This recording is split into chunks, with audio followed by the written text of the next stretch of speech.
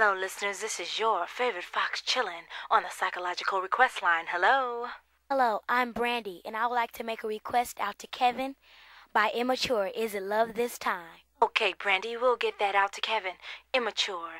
Is it love this time? Yo, kick it. You know what? You're a fine young sexy lady. And I'm a fine young fella too. You know we can really get close together. You know, they always saying that we too young. But I personally don't believe that.